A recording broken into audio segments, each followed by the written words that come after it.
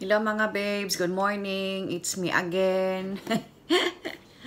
Ang ganda ng araw ngayon. It's May 28. Ayan. Kasi palagi ako nagkamali.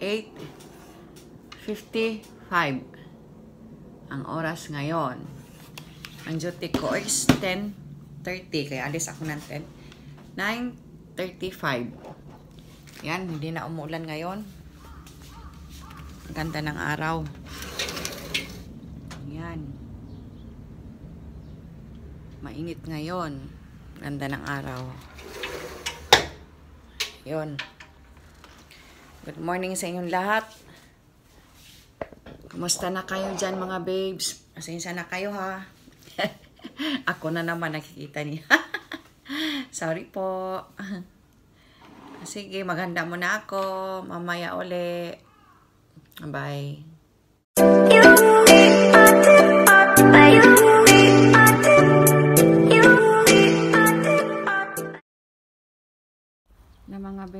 Alis, alis na tayo papuntang work. Ang ganda ng araw ngayon.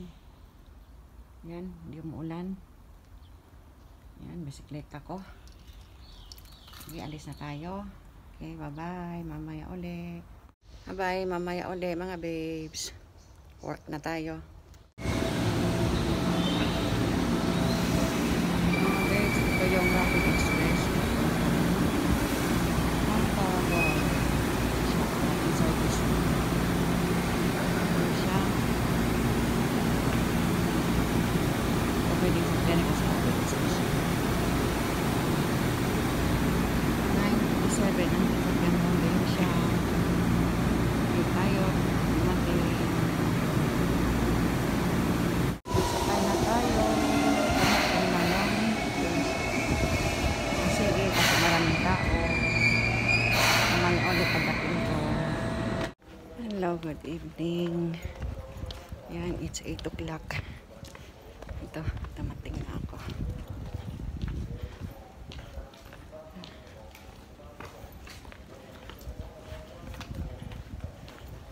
Uwi na.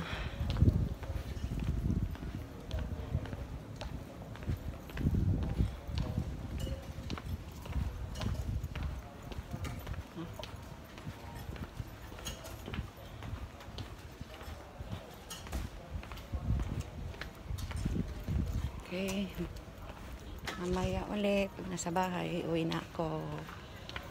Bye. Hello mga babes. Andito na ako sa bahay. Dumating ako 8.30. Nagpahinga muna sandali at nagpakain ng mga pusa. Ng aming mga alaga. Ito, pagod na pagod sa trabaho ngayon. Natapos kami. Maga kami natapos. Nagsusulat muna. Para sa mga night shift. Yung mga nagsusulat ng mga record ng pagkain at saka iba-iba nag mga daming ginagawa pag ano pag ganyang oras ka matapos. Ang daming ginagawa sa trabaho. Pagod na pagod bukas na naman. Ah ganun din 10.30 to 7.30 ang aking oras ng duty bukas. Tapos sa sunod the next sa linggo night shift ako mahabang oras. Pero okay lang kasi tatlo kami. Naging tatlo na kaming ano, night shift, hindi na dalawa. Nakapagod pag dalawa. Grabe. Ang daming ginagawa. Sobra. Hindi basta-basta ano yung panggabi ka. Nako. Nakapagod talaga.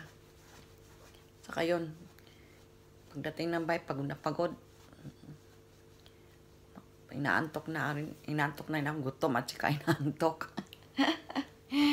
Hindi pa nakaligo. Maya maya. Ang ligo ng init. Ang init-init kasi. Ah, sige mga babes, mamaya uli. Mag-ano muna ako. Kakain muna ako. At saka maligo. Ganun. Saka para ah,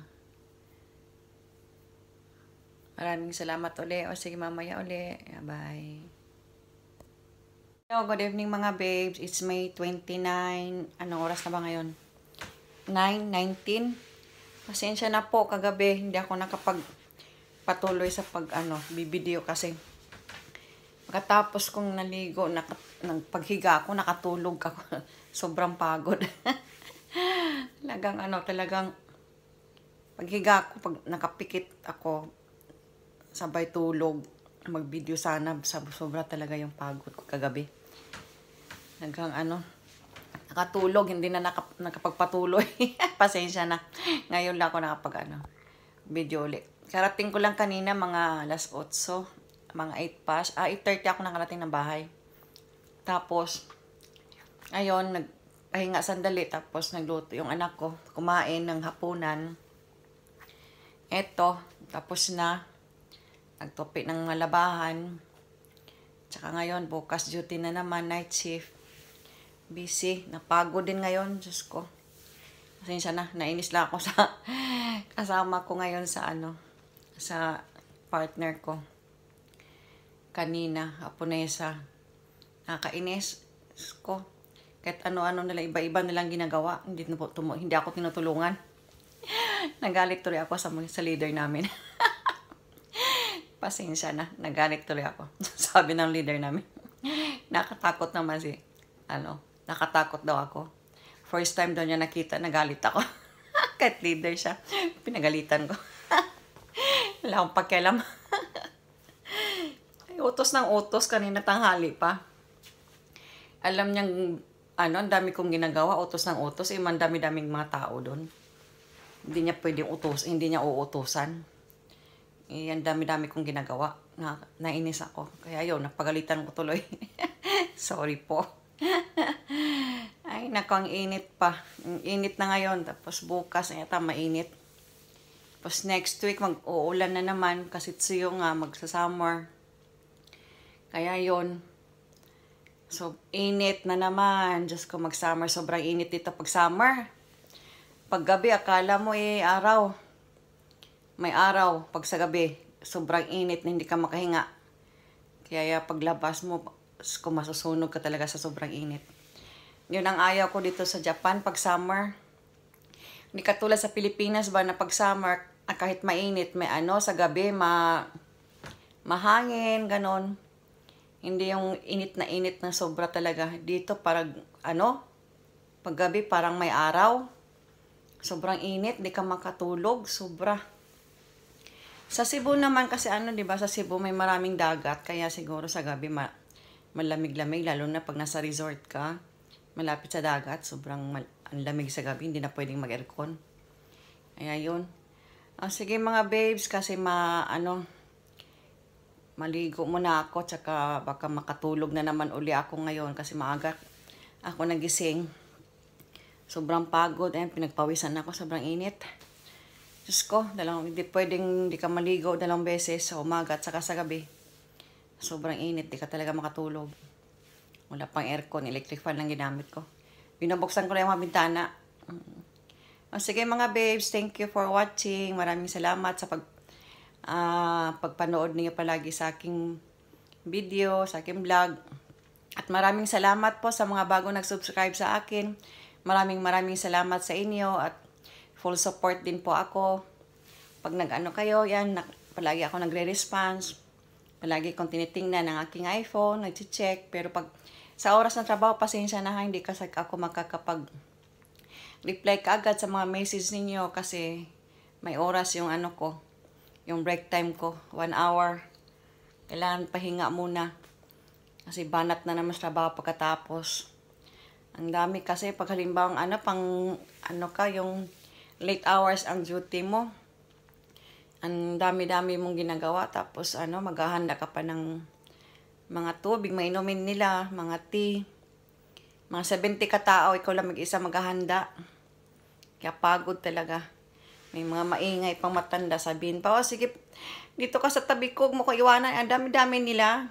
Tinitingnan mo, ang dami-dami nilang binabantayan mo, ikaw lang mag-isa. Gusto niya na sa tabi ka palagi. Ay, nako, pinagalitan ko nga.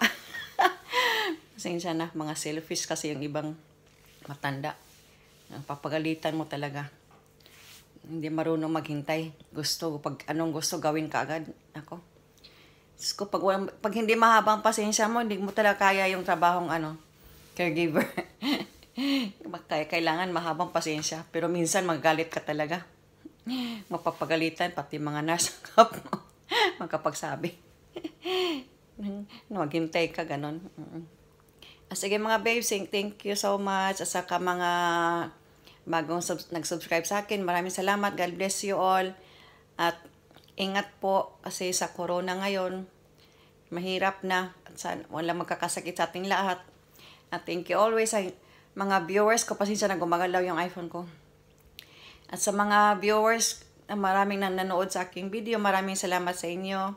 God bless us all and love you all. Bye-bye. Sana makapag-subscribe kayo sa akin. Malang araw. Saka magustuhan ninyo aking video. Pasensya na po. Palagi lang simple lang aking ano. Wala kasi puro trabaho lang. Ganito talaga. Pag hindi ka trabaho, hindi ka makakain. Oh, sige, maraming salamat sa inyong lahat. Bye-bye. Good night. God bless us all.